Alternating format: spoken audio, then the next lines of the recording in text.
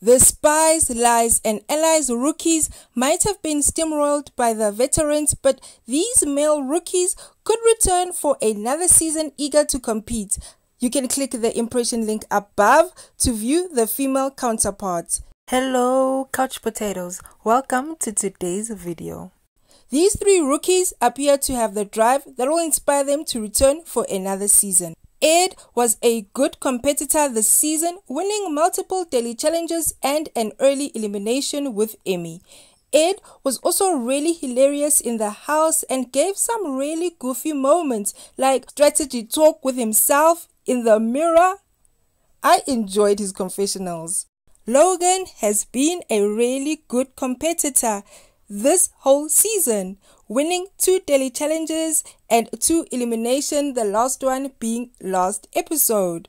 He also has shown himself to be really smart strategist by making the deal with Nelson and Ed to win the bombshell battle daily.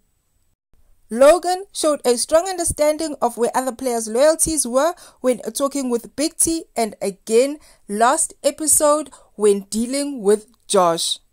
He showed that he knew the other player's strengths while talking Ed through exactly how he should go about picking his opponent for the elimination, but Ed did not listen.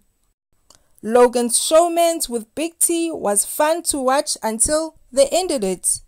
Emanuel has been one of the breakout rookies this season, and like his friend Emy, he brought a lot of fun with his quirky personality. He has socially done really well, building bonds in the house which let him stay out of eliminations. He was in two different showmances, first with Michelle and then with Tori. Fixing the pipe, are we? Fixing the pipe. Which pipe are we fixing? Emanuel has also proven himself to be one of the best competitors, regularly being in the top few pairs with Kaycee and being one of the best competitors on the Emerald team so far. The season 37 veterans will probably be the winners of the challenge Spies, Lies, and Allies, but there are many rookies who have proven themselves worthy of being a competitor. Although several of this season rookies won't be seen on the show again, there are a few who seem poised for a return next season. Ed is a good guy, but he needs to play a more selfish game. Throwing himself down for Logan was incredibly dumb.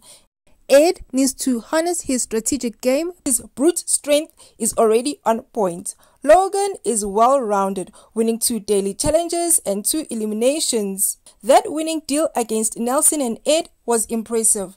But also, this winning elimination against Cory was also that impressive.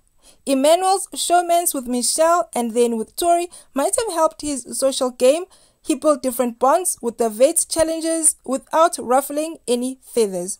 Do you agree with my three choices? Who would you suggest? Let me know your thoughts in the comment section below. Until next time, thank you for watching. Please subscribe. See you soon. Bye. Hey, Couch Potato. Thank you for watching. Don't forget to like and subscribe. See you soon.